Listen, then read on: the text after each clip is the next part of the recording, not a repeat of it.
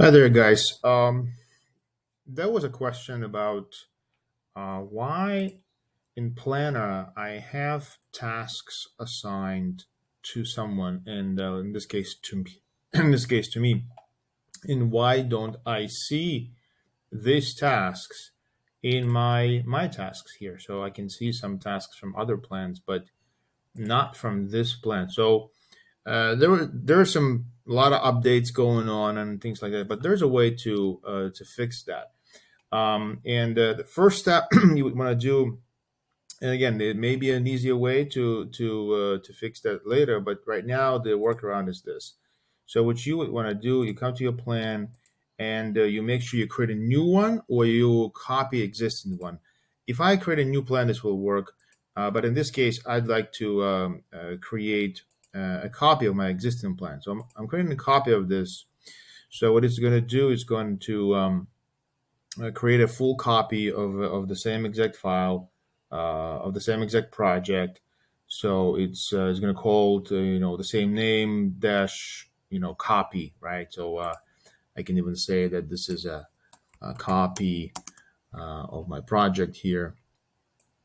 So um, so now I'm going to assign a person, in this case, just me, and um, just double check, it's not it. Uh, just double check to make sure I'm not, I still don't see it. So let's just go back here. Yeah, I still don't see it. Sometimes you need to like switch between and give it a, give it a second to show up, but I'm not expecting even this to, uh, to show up here. Uh, as a matter of fact, let's, uh, let's go get this copy and let's pin it so I can I can switch between these two projects now. So um, the last step that I need to do is to share this with uh, with that person, right? In order for that person to see it under his my tasks, and in this case, this is me. So what I'm going to do, I'm going to basically you know put my name here. I can do my name or uh, uh, or I can uh, simply uh, uh, pick a group, right? As long as I'm a member of the group, that should work as well. But here, for the purpose of this uh, demo, I'm just putting my name here. And that creates a group, and I can expand that group, you know, from that point uh, further.